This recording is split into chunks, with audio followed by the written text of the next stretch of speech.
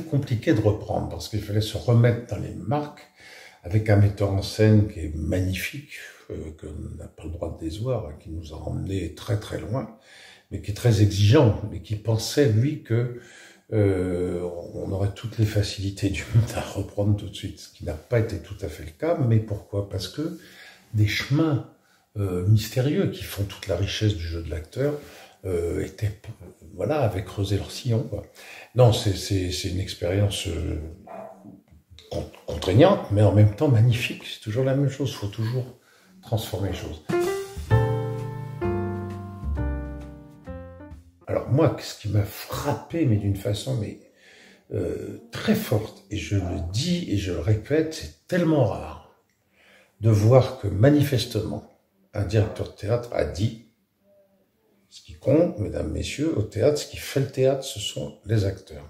Et pourtant, c'est un très grand metteur en scène, Eric.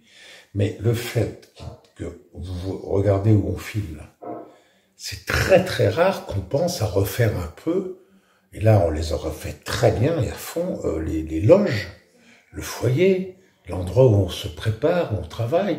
Là, c'est un endroit où on a envie d'être. Alors que je peux vous dire que dans 99,9% des cas, les loges sont euh, traitées comme de vagues vestiaires. Et encore, ça c'est mieux, quand, mais c'est souvent vétuste, ça dégueulasse, enfin pas entretenu. Et particulièrement dans les théâtres privés à Paris, c'est catastrophique. Donc ça c'est important en opposition. Donc là, on a un, lieu moderne, clair, très clair, très qui incite au, au, boulot. Euh, et ce lieu est, et oui, est tout neuf, quoi. Je crois, j'ai l'impression. Enfin, on sent qu'il y a une volonté. Et paradoxalement, avec ça, d'un seul coup, il y a une vieille pente en bois que j'adore qu'il faut grimper, qui est la pente par laquelle doivent monter très difficilement les décors pour les euh, du camion à la scène. Et on a, on rentre, on pénètre dans un vieux, vieux petit théâtre qui est un petit bijou, mais il faut le laisser tel quel. Il faut bien évidemment moderniser tout ce qui est technique.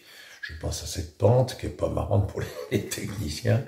Euh, je pense à pas mal de choses, mais par contre, l'ensemble de ce théâtre est un joyau qu'il faut garder comme tel, qui est, un très très beau, euh, très très très beau petit théâtre avec une très belle acoustique, malgré une fosse importante, un très bon rapport scène-salle.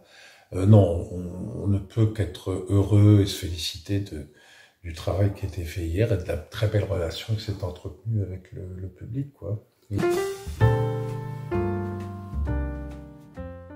D'abord, faut arrêter de mettre dans notre conversation ce putain de Covid, excusez-moi, mais ça, on étouffe. Avant même d'étouffer à cause de la maladie, on étouffe d'en parler. Euh, non, non, non, parce que vous savez, de toute façon, alors on nous a dit, ça fait quoi de jouer devant des masques? On les voit pas. on a toujours vu euh, une salle un peu comme ça, euh, noirâtre, un peu fantomatique, comme dit le gars dans le champ du cygne, une fosse noire sans fond euh, où la mort se cache. c'est la mort. Bon, euh, non, je crois, non. Enfin, moi, je, rien du tout, quoi. Puis j'ai, j'ai pas envie d'en parler. En tout cas, ça ne me fait rien du tout, Covid ou pas Covid.